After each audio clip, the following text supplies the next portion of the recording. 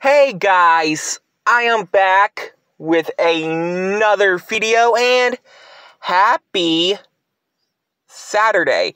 Yes, I watched night one of the WWE draft. Um, some I was disappointed in, some I'm okay with, some I did not expect.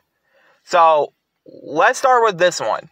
Two, number one, what I did not expect. Kiana James and Carmelo Hayes from NXT. One was drafted to SmackDown, which was Carmelo Hayes. The other one who was drafted to Raw was Kiana James. Um, yeah. Number two, um, what I was really excited excited about.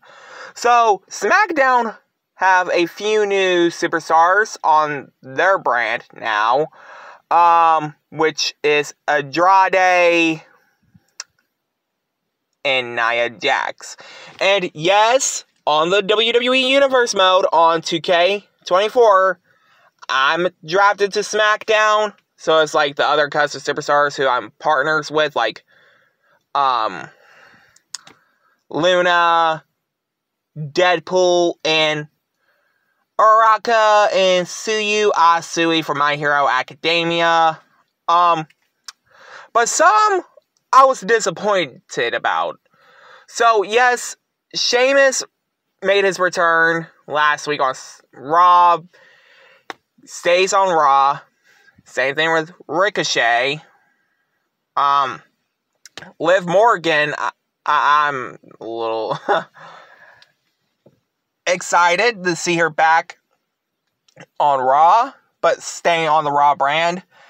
So, yeah, what's my thoughts about the draft? Um, but like I said, some I was excited, the others, just in my opinion, were kinda okay, and a little bit of disappointment.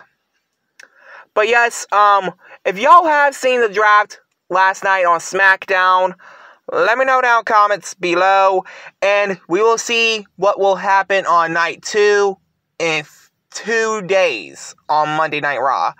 But anyway, guys, like, comment, subscribe.